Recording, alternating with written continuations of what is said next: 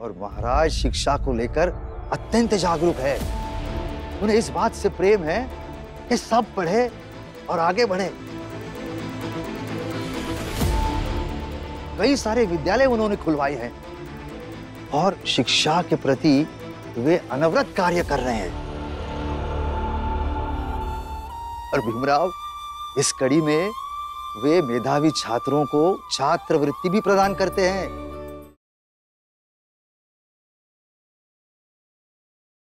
और भीमराव, अगर वो छात्रवृत्ति तुम्हें मिल जाए तो तुम्हारी पढ़ाई की फ़ीस भी पूरी हो जाएगी।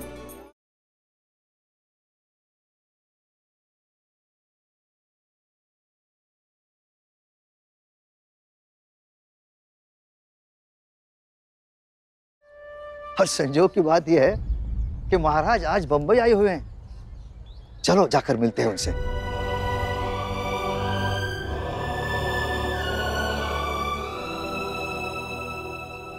गुरु जी राजा महाराजा जात के लोग भला भीम को क्यों मदद करेंगे? मतलब ये है गुरु जी कि अब आप भी भीम की खिल्ली उड़ाने लगे। भीम की किस्मत फूट गई तो सब लोग खिल्ली उड़ाते हैं। यही होता है।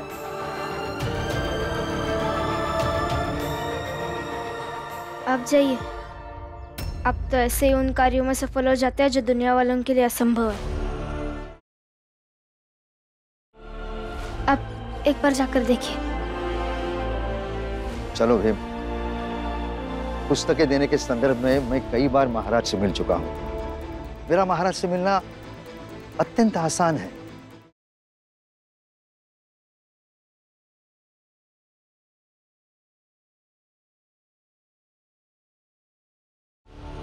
जा भीम सोच क्या रहा है? जाके मिल लो महाराज जी से। भीमराव डलिया अम्मा बिल्कुल सही कह रही हैं। हमें पूरा विश्वास है। महाराज तुम्हारी मदद ज़रूर करेंगे। हाँ भीमराव तुम्हें ज़रूर जाना चाहिए। हाँ बेटा।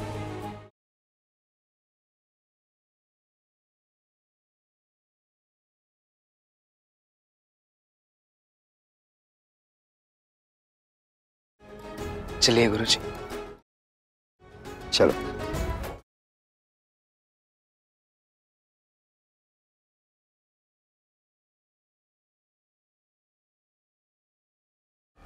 हितेश काका जिस बात पर आप अभी हंस रहे हैं ना, जल्दी उस बात पर दुखी भी होइएगा क्योंकि खेल अभी खत्म नहीं हुआ है कि आप मेरे पति का पक्ष या विपक्ष तय कर सके। या ये तय कर सके कि मेरे पति की जीत हुई या संघर्षों की हार। इसलिए खेल अभी शुरू हुआ है, हितेश काका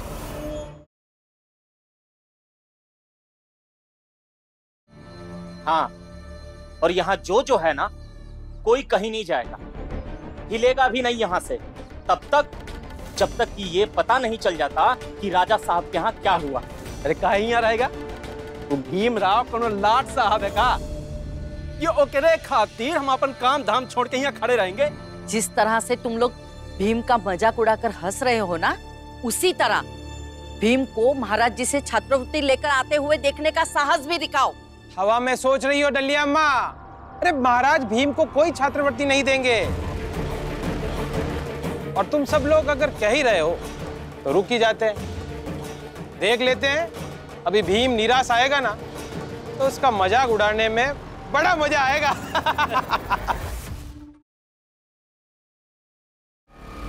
जिसे रहना है, रहे। मुझे उस भीम से कोई मतलब नहीं। और ना ही उसके साथ जो होने वाला है उससे कोई लेना देना। नहीं आई। जब तक भीम भाव का क्या हो जाता है पता नहीं चलता। आप भी यही रहेंगे। हमारे साथ।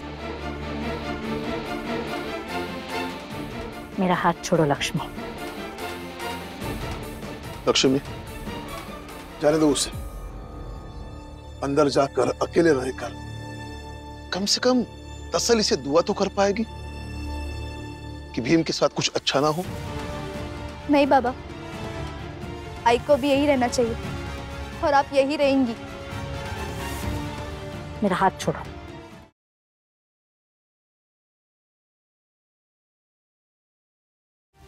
आई मेरी बात तो सुनिए। रुकिए ना यहीं पे। बदतमीजी बर्दाश्त नहीं करूँगी मैं लक्ष्मी। छोड़ो मेरा हाथ। आई आप यहीं रहेंगी। लक्ष्मी सही कह रही है। सब जानते हैं यहाँ पर कि कौन भीम के पक्ष में है और कौन उसके खिलाफ। तो जब तक भीम के भविष्य का फैसला हम सबके सामने नहीं हो जाता, तब तक आप यहीं रहिए। जिनको खुश होना है, वो सबके सामने होंगे और जिनको दुखी होना है, वो भी सबके सामने।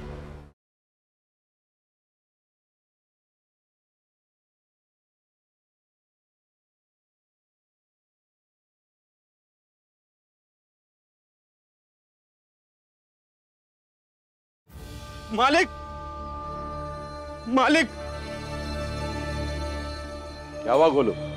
मालिक वो कैलेश्वर गुरु जी भीम को सैया जी महाराज के पास ले गया है। आगे की पढ़ाई का खर्चा मांगने। अगर मिल गया तो?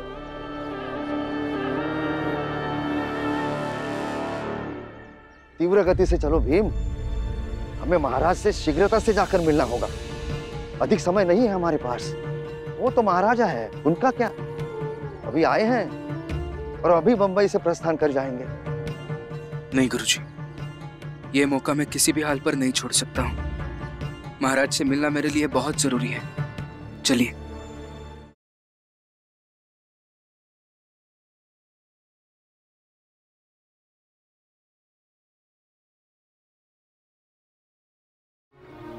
महाराज मेरा नाम निकुंज है। मैं पढ़ना चाहता हूँ। मैं कुछ बनना चाहता हूँ। अपने पैरों पर खड़ा होना चाहता। हूँ मैं आपके पास बहुत उम्मीद लेकर आया हूँ महाराज। मुझे आपसे छात्रवृत्ति की आशा है। हम्म मंत्री जी। जी महाराज। इस वर्ष हम कितने विद्यार्थियों को छात्रवृत्ति दे सकते हैं? महाराज केवल एक विद्यार्थी को। और वो एक छात्र बनने का सौभाग्य मुझे दे दीजिए महाराज। अवश्य। क्योंकि इस वर्ष किसी भी विद्यार्थी ने इस छात्रवृत्ति के लिए आवेदन नहीं किया है तो यह छात्रवृत्ति तुम्हें अवश्य मिलेगी। धन्यवाद महाराज। और आप सबकी जानकारी के लिए इस वर्ष छात्रवृत्ति इस बालक के पश्चात किसी और को नहीं मिलेगी। क्षमा करें महाराज।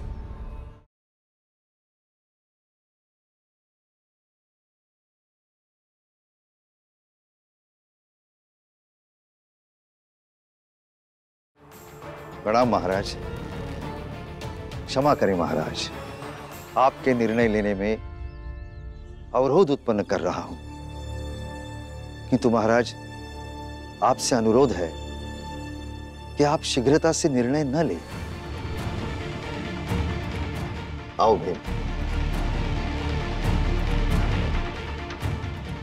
प्रणाम महाराज। मैं भीमराव अंबेडकर गुरुजी,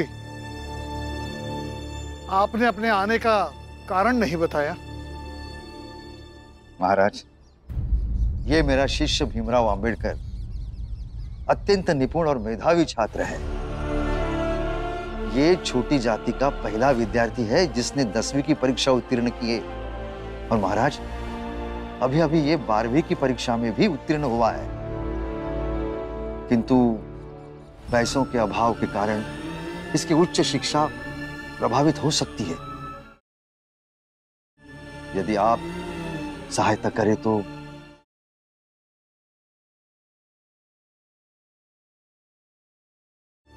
लेकिन अभी अभी महाराज ने घोषणा की है कि इस वर्ष एक ही विद्यार्थी को छात्रवृत्ति प्राप्त होगी। और वो विद्यार्थी है निकुंज। निकुंज। गुरुजी आपने आने में थोड़ी देर कर दी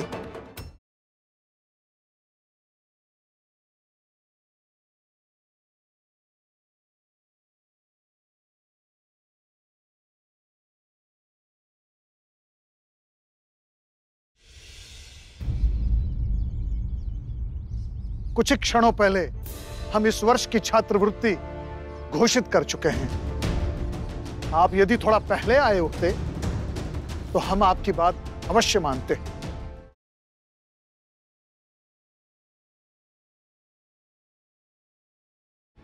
ठीक है महाराज।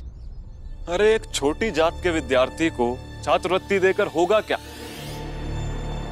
पानी भी उस पौधे में डाला जाता है जिसमें फल की आशा होती है।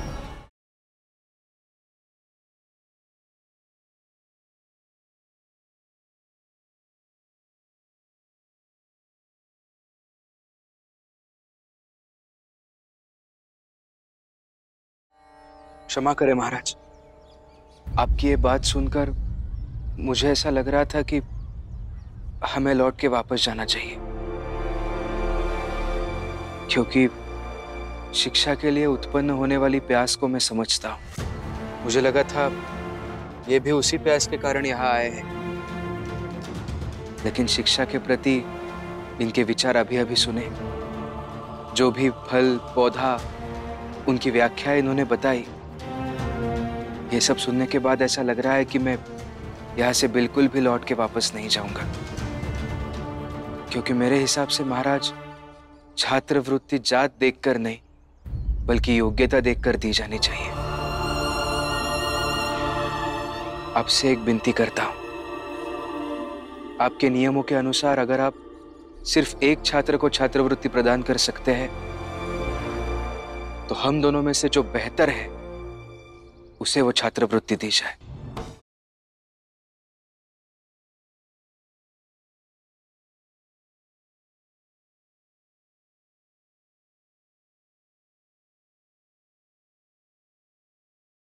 बस मैं इतना ही चाहती हूँ कि उन्हें छात्रवृत्ति मिल जाए।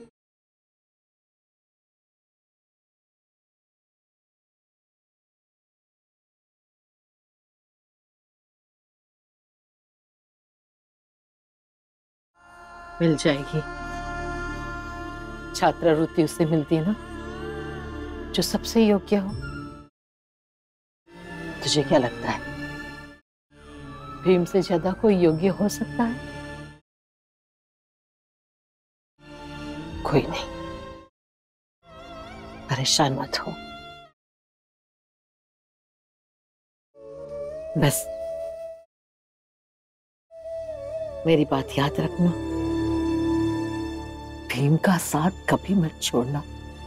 आपको लगता है बुआ मैं उनका साथ कभी छोड़ूँगी? जब तक ज़िंदा हूँ तब तक उनका साथ देती रहूँगी। लेकिन हम भी बहुत परेशान हो रही हैं। परेशान मत हो। भीम की योग्यता पर विश्वास है ना? भरोसा है ना उसमें? बिल्कुल है बुआ। खुद से ज़्यादा भरोसा है ऊपर। पर बस। देख लेना। हमारा भीम सफल होगा।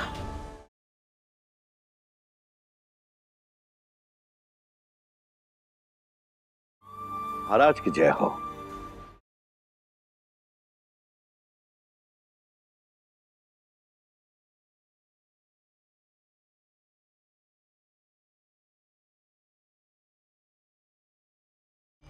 महाराज की जय हो।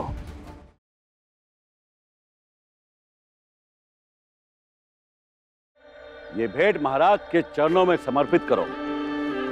क्या महाराज भेंट स्वीकार करें।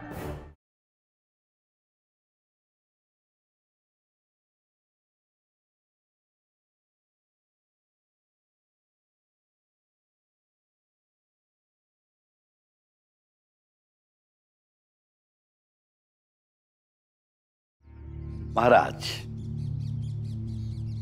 ये भीमराव, हमारी समझ में ये नहीं आ रहा है कि ये पढ़कर करेगा क्या? आप तो महाराज है। आप समाज और लोगों के आपसी संबंधों को अच्छे से समझते हैं। और ये भीमराव पढ़कर समाज में असंतुलन पैदा कर रहा है। महाराज, ये बड़ी बहकी बहकी सी बातें करता है। आपको पता है क्या कहता है? ये कहता है कि समाज में जात होनी ही नहीं चाहिए।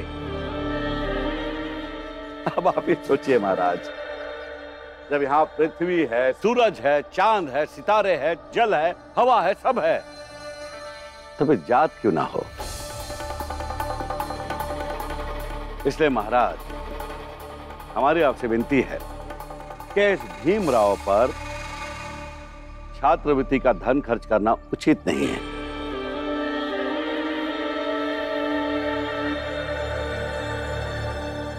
भीमराव, मुझे नहीं लगता यह छात्रवृत्ति तुम्हें दी जानी चाहिए। तुम जा सकते हो।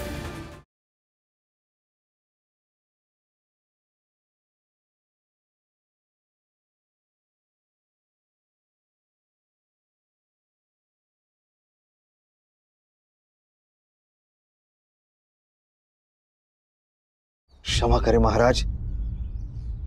किंतु भीमराव अत्यंत होनार और मेधावी छात्र है। ये अवश्य नाम रोशन करेगा।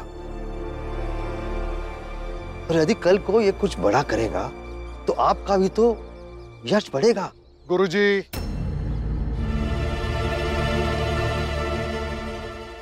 हम आपसे कह चुके हैं, इस वर्ष की छात्रवृत्ति की घोषणा हम कर चुके हैं। आप दोनों से मेरी आज्ञा है। आप दोनों जा सकते हैं।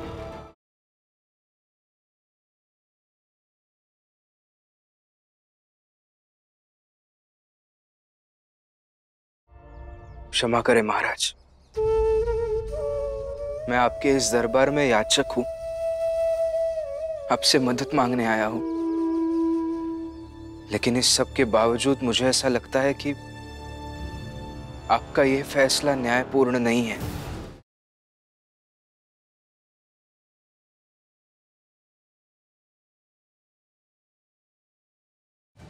राजा के साथ बहस करना क्या उचित है?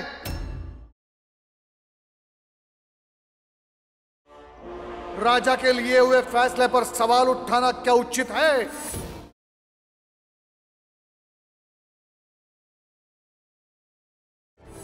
फिर से क्षमा चाहता हूँ महाराज। लेकिन अपनी बात को सही तरीके से रखना उचित ही है ना?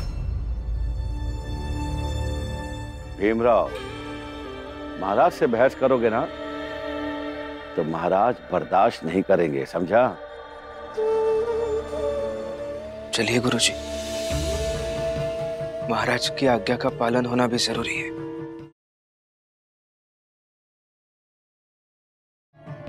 क्षमा चाहता हूँ। रुकिए भीमराव।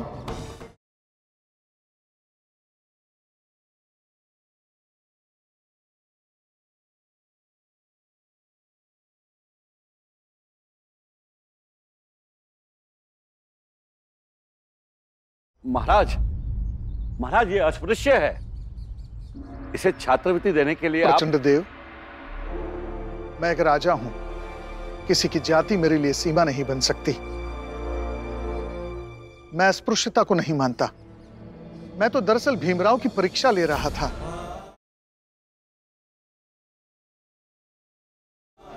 मैं ये समझने की कोशिश कर रहा था कि भीमराव जिस विद्या को प्राप्त करना चाहते हैं, जिस शिक्षा को प्राप्त करना चाहते हैं, क्या उसका महत्व वो समझते हैं?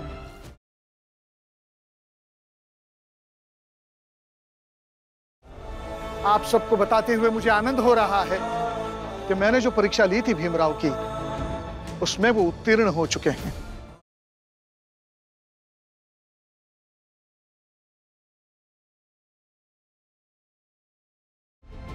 वो शिक्षा के महत्व को जानते हैं। वो ये भी जानते हैं कि स्वयं उनका अपना राजा यदि उनके सामने खड़ा होकर कोई बात कहे, कोई फैसला ले तो उस फैसले पर तर्क किया जा सकता है। अपनी बात रखी जाती है।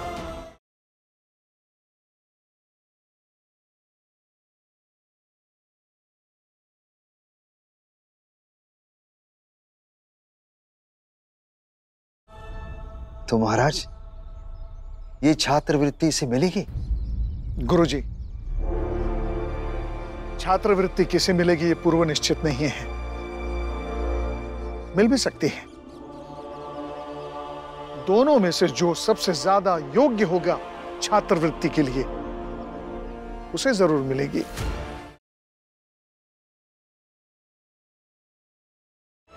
छात्रवृत्ति प्राप्त करने के लिए